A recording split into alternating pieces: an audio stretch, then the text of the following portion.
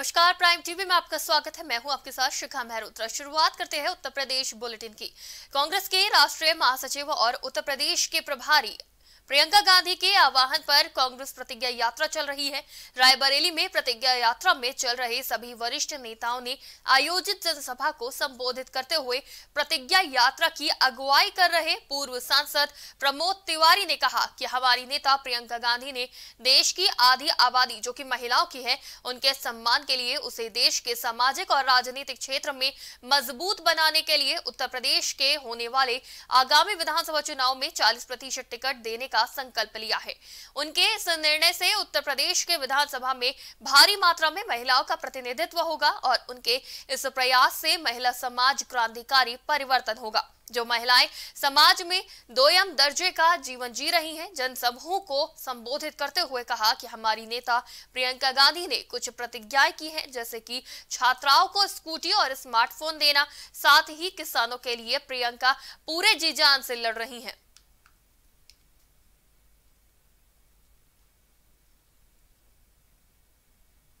वहीं अब खबर और अय्या से है, जहाँ चुनाव नज़दीक आते ही राजनीतिक पार्टियों ने जनता के बीच गोट बिछानी शुरू कर दी है।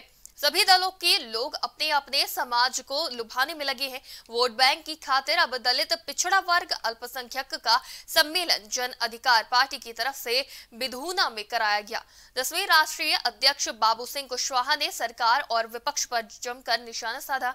जन अधिकार पार्टी में के एक कार्यकर्ता सम्मेलन में पहुँचे बाबू सिंह कुशवाहा ने भारतीय जनता पार्टी की कानून व्यवस्था पर जमकर निशाना साधा। उन्होंने कहा कि कानून व्यवस्था बदहाल बहु बेटियों, बहुत ही बदहाल हो रही है।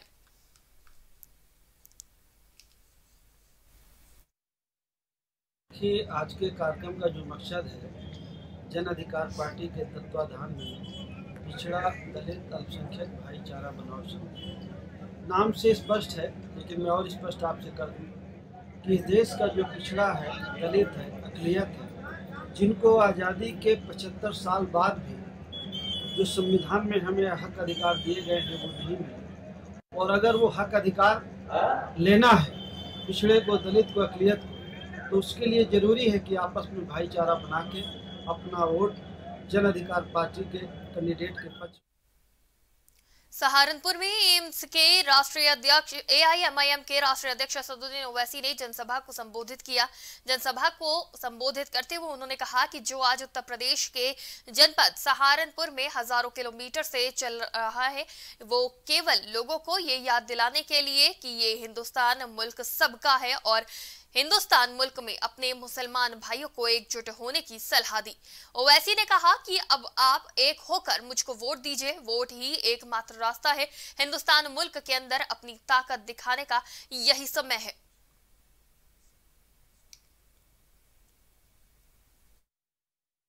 कमीशन में, इंक्वायरी कमीशन में ये बात साबित हो गई कि सावरकर गांधी के कतिल में कॉन्स्परेसी में शामिल थे। आप कैसा करेंगे? जो गांधी के मर्डर में कॉन्स्परेटर उसका नाम कैसे रखेंगे? चलिए। अच्छा ये बताइए कि कांग्रेस के उसमें नमाज़ पढ़ने के लिए परमिशन नहीं लेनी सड़क पर हाईवे पर। देखिए देखिए पूरे देश में गुड़गांव में खास तौर से गुड़गांव में पुलिस दे रही है परमिशन बीजेपी के लोग क्यों पढ़े उन्नाव में चाइनीज़ वस्तुओं का विरोध किया जा रहा है। ठेले पर मिट्टी के दिए लेकर बाट हिंदू जागरण मंच के कार्यकर्ता विरोध कर रहे हैं। इस दौरान सड़क किनारे दियाली बेच रहे कुम्हारों के बर्तन खरीदे गए। करीब ग्यारह हज़ार दिए हिंदू जागरण मंच ने खरीदे और गरीब और जरूरतमंद लोगों के लिए दिए बांटे गए। कार्यकर्ताओं ने चाइना सामग्री का कड़ा विरोध करते हुए वोकल फॉर लोकल की बात कही। उन्नाव के लोगों से अपील की कि चाइनीज़ वस्तुओं का बहिष्कार करें।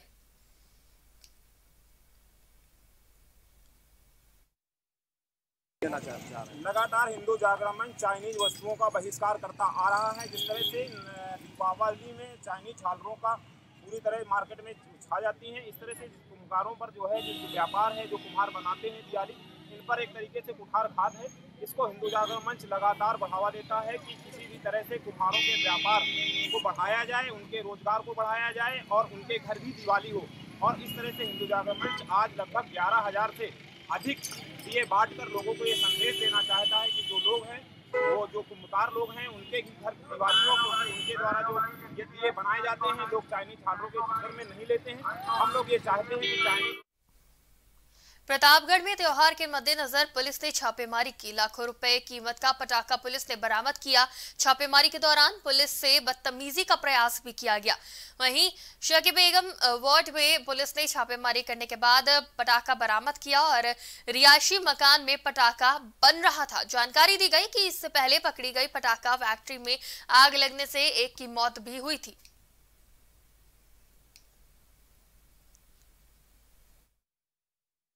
देखिए, ये इंस्पेक्टर कोतवाली को सूचना मिली थी कि आने वाले दिवाली के त्यौहार के क्रम में कुछ व्यक्तियों के द्वारा अवैध भंडारण किया गया है, जिसके क्रम में आज वहाँ पर जाँच की गई। तो बेगम बाड़ में तीन स्थानों से पटाखे बरामद हुए हैं, भारी संख्या में पटाखे हैं, जो कि रिहायशी इलाके में भंडारण किया गया था।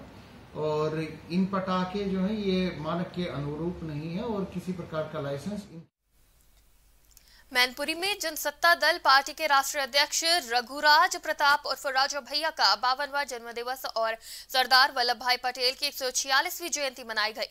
शीतला माता मंदिर में खुशी ज़ाहिर की गई, जिसमें हवन, यज्ञ, महाआरती, प्रसाद वितरण और वृक्षारोपण का कार्यक्रम किया गया। उसके बाद केक काटकर हर्षोल्लास के साथ कार्यक्रम मनाया गया।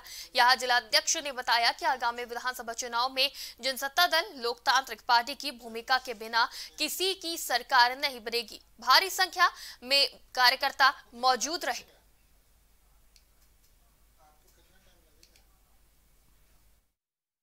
जी राष्ट्रीय अध्यक्ष आदरणीय कुंवर रघुराज प्रताप सिंह राजा भैया जी के बावनवे जन्मदिवस पर हम लोगों द्वारा यहाँ पर हवन यज्ञ कार्यक्रम, प्रसाद वितरण, आरती, वृक्षारोपण और केक काटकर जन्मदिवस मनाया गया।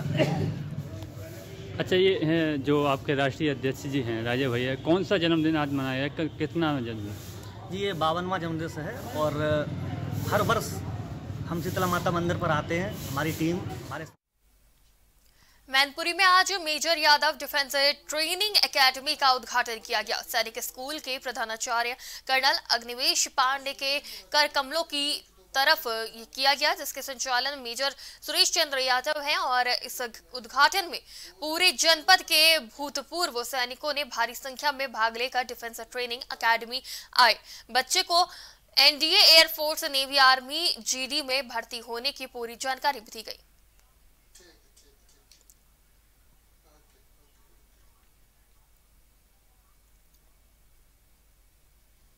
खबर जनपद मैनपुरी से है, जहाँ पूर्व सांसद तेज प्रताप यादव के नेतृत्व में भारतीय जनमानस के चहेते लौह पुरुष सरदार वल्लभ भाई पटेल की जयंती मनाई गई। कार्यक्रम में सपा कार्यालय के पास मैरिज हॉल के प्रांगण में आयोजित किया गया ये कार्यक्रम, जहाँ प्रदेश अध्यक्ष उत्तम मुख्य अतिथि के रूप में मौजूद रहे। वहीं भारी संख्या में लोगों का हुजूम उमड़ पड़ा, जिससे ज़िले के सपा के विधायक और तमाम पदाधिकारियों का कार्यक्रम में भाग रहा और सभी कार्यकर्ताओं में भारी जोश भी दिखा।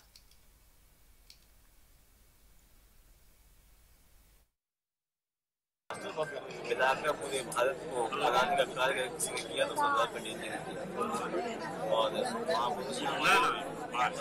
समाजवादी पार्टी ने महापुरुषों का सम्मान किया।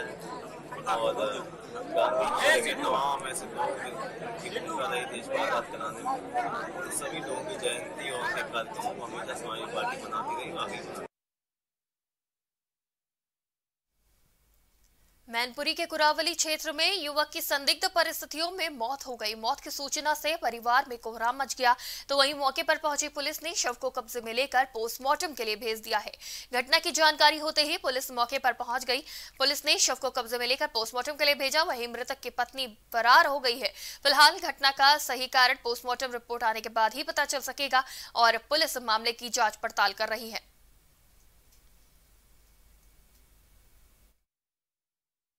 घटना क्या हुई है मेरे पास आया फ़ोन उसका भाई का क्या मेरे को जाने को खतरा है। क्या एक तो धांधू है और और मेरी पत्नी के मारे को मेरे को हत्या करना भी फिरता है। और बहुत समझाया बुझाया लेकिन उसको कहीं बाहर था उसको घर पे भेज दिया। रात के ग्यारह बजे तो फ़ोन आ गया। फ़ोन आएगा वो क्या वो तो मर गया। उत्तर प्रदेश की खबरों में फ़िलहाल इतना ही। प्राइम टीवी के साथ आप बने रहिए।